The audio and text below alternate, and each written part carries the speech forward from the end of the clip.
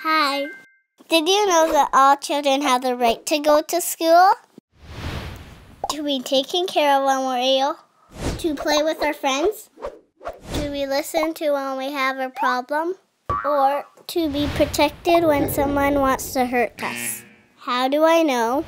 Because the Convention of the Rights of the Child says so. If any person violates any of your rights, you should make a complaint and demand your rights be respected. You need to ask for help from someone you trust and go to court in your country.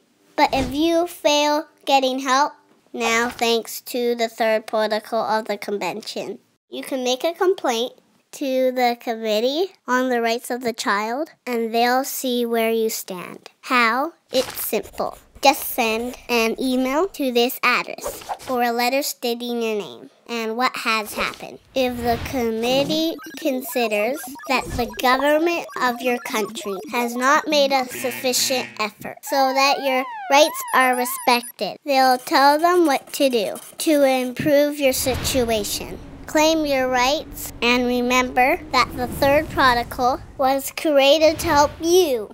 If you want more information, go to www.savethechildren.es.